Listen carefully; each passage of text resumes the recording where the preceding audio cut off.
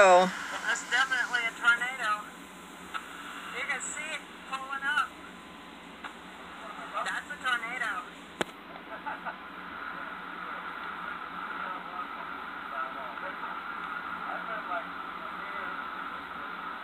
tornado coming to Albert Lea, Minnesota.